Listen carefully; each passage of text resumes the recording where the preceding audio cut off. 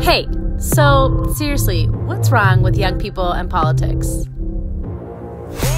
Perhaps no one has ever asked us about the things we care about or the way we care about them.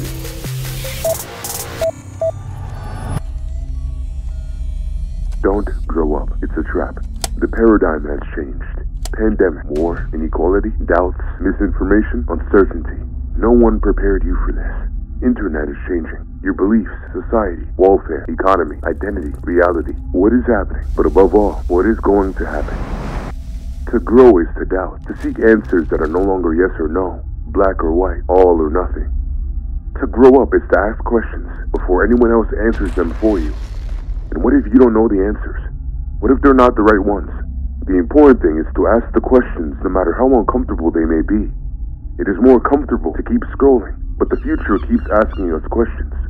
What are we going to answer? For the first time, a government decides to ask uncomfortable questions to which it has no answers.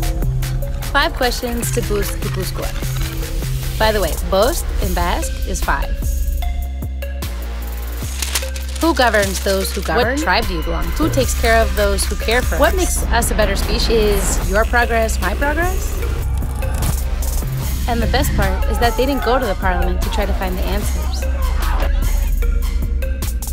They invited real people, like you and me, to discuss in a diverse and intergenerational debate. Citizens and governments thinking together.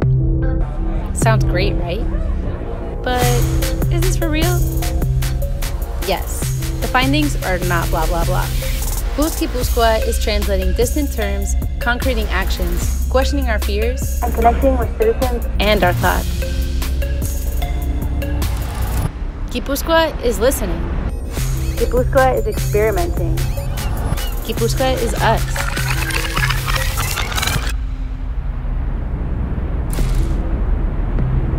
Gipuzkoa is an initiative of Etorkizuna Eraikiz, the model chosen by the Gipuzkoa Provincial Council to promote collaborative governance, to face future challenges, and make Gipuzkoa the region with the lowest level of inequality in all of Europe.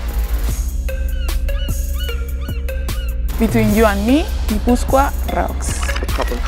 No bullshit.